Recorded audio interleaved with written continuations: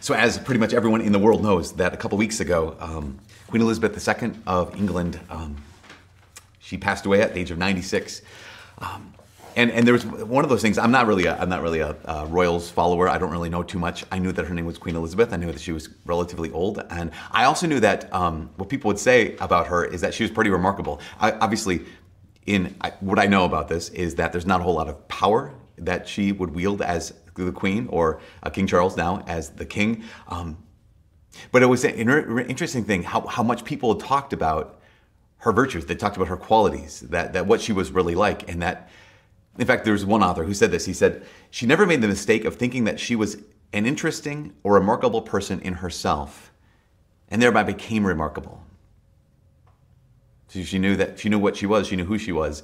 She never made the mistake of thinking that she was a remarkable or interesting person in herself, and thereby she became remarkable. That her, she realized that the whole, um, her whole situation, her whole life, was an accident of birth, or circumstance. Um, if you know any of her story, uh, which you probably do if you watch The Crown, um, is that uh, at one point when she was a child, her uncle abdicated the throne, and so her father became uh, King George VI. Her little sister at that point, I don't know, they were really young, asked her sister Margaret, said, um, "Does this mean that you'll be queen someday?" And she responded in a very British way. She said, "I suppose it does." They never talked about it from then on. Uh, just kind of one of those, okay, matter of fact. At the age of 25, she became Queen Elizabeth II. And it was one of those situations where you realize that here she did this. She had this task that she lived for the next, you know, 70 plus years. She didn't seek out this life, that she didn't um, pursue it. She just said yes when it came to her. That when it, when it came to her, she simply did what she was asked to do and, and so that's that's one of the things you could say like all the things all of the characters all the qualities that marked her life one of them maybe the greatest was you could simply say she did her duty like she did what was asked of her no, of course we would hear that and say, well, yeah, she was the queen. Oh, poor duty. But like it said, I remember another author had said this. He said, um, well, she did have good working conditions. And of course, you know, living in a castle and whatnot, palace. But every one of us have been in that place, right? We've been in that place where, okay, regardless of what the task is, I have to do the task. Regardless of, of, of how nice the conditions are, okay, I'm only here because I have to. I'm only here because it, I'm obliged to do this. I'm only, only, only here because it's, it is something I didn't ask to do. It's something that I didn't seek out. It's something that maybe I even don't want to do, but we had a duty. And here's the question when that happens, when we have a duty, how do we do it? Like when we have something that we didn't choose, that I didn't want to do, that I didn't seek out, but it's come to me, how do we do that duty then? And I just want to ask the question what's our response? What's our attitude to something that we're merely obliged to do? That's right in the gospel. Jesus even talks about this as a disciple who just simply does everything a disciple does. At the end of the day, you get to say, I've just done my duty, right? I've only done what I was obliged to do. So, as a kid, when you had to do your chores, I know it for myself as a kid. When I had to do my chores, I didn't want to do them. I just, my mom would always say this: if I had to sweep, you're just pushing the dirt around, which is actually what sweeping is. But nonetheless, you're just pushing the dirt. You're not making it clean. Oh, we would vacuum a room, and she's like, "You vacuum for three minutes. It takes a lot longer to vacuum." Like, mom, you're just slow. But we would do this kind of thing as a kid, or maybe even in your in your work. If you don't like your work, if maybe at school, if you've been given busy work, how do we do those tasks that we have to do that are part of our duty? that we're obliged to do that we don't want to do. I think the most common way we do that, we just kind of are half hearted. I, th- I think we might still do it because I need to, I have to, but we just go through the motions. And again, that comes with our jobs, we can just go through the motions. When it comes to our relationships, you know, there might be people you're in a relationship with that just like you don't want to be in a relationship with them, but they're part of your duty. They're part of the people you're obliged to be in a relationship with. And so we just go through the motions. In fact, when it comes to our relationship with the Lord, when it comes to our faith, so many of us, the way we live our faith is marked by we're just going through the motions. And so the question comes between like, can I live with passion or can I just go through the motions? Like, can I live a life that's, that's full of the, full of life, or do I just have to go through the motions? I think when we find ourselves going through the motions, we can feel stuck. It's, incredibly easy to feel stuck. Um, because why? Because I feel like I can't move. And I want more. And I think that's what the apostles are asking for at the very beginning of Luke's gospel today. What is it? Well, they walk up to Jesus and they say, "Increase our faith." Because why? Because my guess, again, I don't want to, you know, project onto them, but there's that sense of like, okay, God, I have this, but I feel stuck. I don't want, I don't want to just go through the motions. I want more. Or even St. Paul to Timothy, when he says those first words, he says, "Stir into flame the gift that was given to you." Here's Paul who says to Timothy, "I want more for you." Here's the apostles, "I want more. I don't want to be stuck." Here's Paul looks at Timothy and says, "You need more. Don't be stuck." The great thing is, is this: is both of these things, both the request increase our faith and the injunction stir into flame the gift you've been given. It implies that we don't have to stay stuck. It implies that we actually the faith is alive. That faith is something we can actually grow. That if you feel stuck, you can actually do something about it. Not only because we have God's grace, but also because you have agency. And this is one of the Christian principles. And so we have God's grace. God wants more for us. So if you are the kind of person, go back to ourselves. If you're the kind of person who says, "Okay, I, am living this life of faith, life of faith, but I just feel like I'm just going through the motions. I feel stuck. Can I grow? Is there more? That God wants more." Secondly, you have agency, which means you can do something to grow. You can do something to increase your faith. You can do something to stir into flame the gift that the Lord has been giving you. You can actually choose to stop going through the motions and you can actually choose to start growing through the motions, which I know is a pun, and I apologize, but that's the name of the series we're going to do for the next four weeks. For the next four weeks, we're going to talk about this because too many Christians, too many Catholics are, are we're tired. We're tired of just going through the motions. In fact, this is for everybody. This series, the next four weeks, is for everybody, but it's especially for those who are raised in the church. People who are like, you know, I know all the motions. like, I know all the moves. I know all the lines. That I, I've got it all down and I still feel stuck. And I still feel like those apostles are just saying, Isn't there more? Please increase my faith. I feel, still feel like Timothy, who's like, Okay, I've been given this gift, but now I just feel like I'm going through the motions. Well, we're going to talk over the next four weeks of what it is to not simply go through the motions, but to grow through the motions. So, whenever I think of this, whenever I think of going through the motions, I always think of the, the movie The Karate Kid. Okay, so I know there's two of them. And so I know that the first one was when I was a kid. And maybe the second one was when you guys, do you watch The Karate Kid ever? Okay, so the, here's the premise.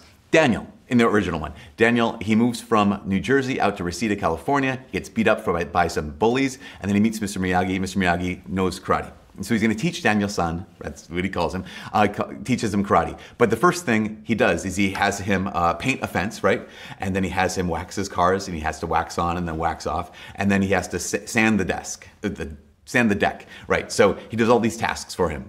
And at the end of the day, at the end of the whole time, Daniel is rel- relatively frustrated because he's doing all these, all these seemingly meaningless tasks with no point. And uh, he yells at Mr. Miyagi, like, I'm doing all this menial work for you, all this meaningless work for you. And that's where Mr. Miyagi says, okay, you know, paint the fence. And he's like, what do you mean paint the fence? So he paint the fence, and he moves it, and he punches, and he blocks the blocks the punch, and he's like, oh my gosh. And then whacks the floor, and, or sand the floor, and he sands, and he blocks a kick. And it's like, oh my gosh, I've been learning karate this whole time. I literally, this is a true story.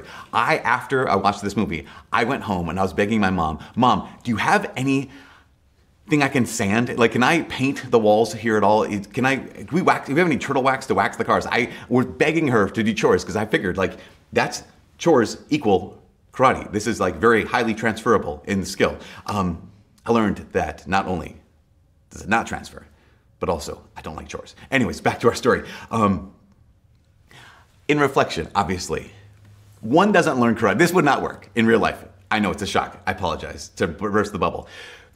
But why wouldn't it work? First, because we're lazy as human beings, and Mr. Miyagi wanted Daniel to uh, paint the fence in exactly the precise way that you might actually block a punch. He wanted to wax the car in the exact way you'd block a whatever. Um, we're lazy, so we get sloppy.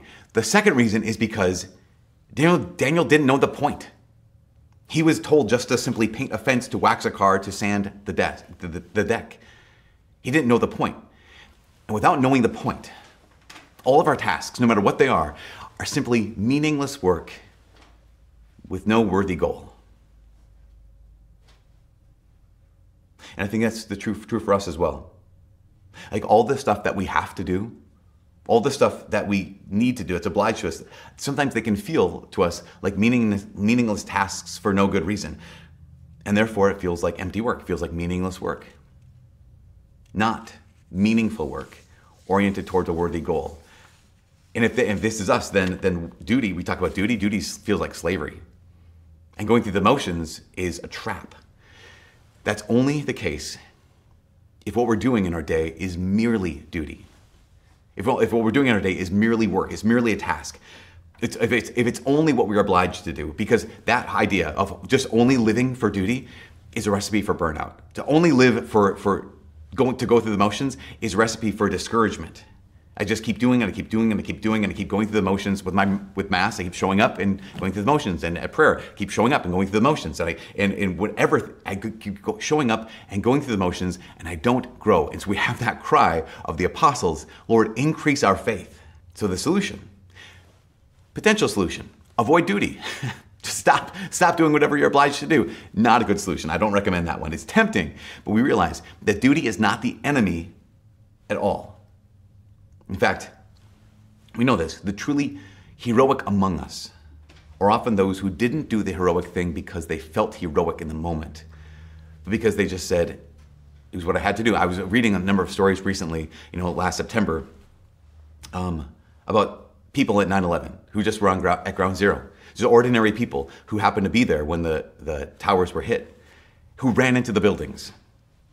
And many of them died, but those who lived they were asked about like how did you what kind of person are you? You must be this great hero. And almost to a person every one of them said i'm not a hero. I simply did what i had to do. I simply did what anyone would do. I simply did my duty. See we, we really admire people who are willing to do something not just because they have, were passionate about it but because they realized someone has to do it and that someone is me we respect people who do that. We respect people who show up because they're obliged to. Duty is not the enemy. Duty is the minimum, according to the gospel today. Duty is the minimum, but also we need to understand this. Duty is not the point. Going through the motions is not the point.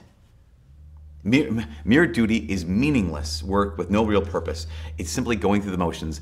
But here's the problem the motions are not the problem. The truth is, the motions are not the problem. Our perspective is the problem. After all, like, what is faith? The apostles, again, in us, we ask the Lord, increase our faith. And we could ask the question, okay, you're asking for more. What do you want more of? We realize that faith isn't an object, right? Faith is, not a thing. It's not like it's not like fuel. Like um, God, give me more uh, in my in my faith tank. Like give me more in my gas tank. Ultimately, faith is trust. Ultimately, ultimately, faith is trust in another, which means that faith is relational. Faith is a relationship. It's not a thing to possess, it's, it's the relationship we have with God. When we realize this, it's not a thing I just need more of, it's a relationship that needs to become stronger. It's not just a thing that I want to possess more of, but it's, it's a relationship that needs to be deeper. That's why faith is not a feeling. This is so important for us to understand because the apostles are not asking, Lord, increase our faith. Help us feel more when we're around you. They felt fine. St. Paul is not telling Timothy, I want you to stir into flame the feeling you have of closeness to God. That's not what he asked for. He actually, remember what he asked for? He said, stir into flame the gift that was given to you because you didn't receive a spirit of timidity. You received a spirit of power and of love and of self control. See, Again, one of the things we need to understand is the question is not what does faith feel like? The question is what does faith do? What does this relationship do in my life? It's one of the reasons why I think that some of the most spirit led, most powerful, loving, and self controlled people that I've ever met in my life are exorcists and, and the laymen and laywomen who work with exorcists. And you'd be like, of course you, that they are, because I mean, they must be especially gifted, they must be especially talented, they must be especially holy. And some of them are very gifted. I, I met one exorcist who literally has a, um, a, photographic memory.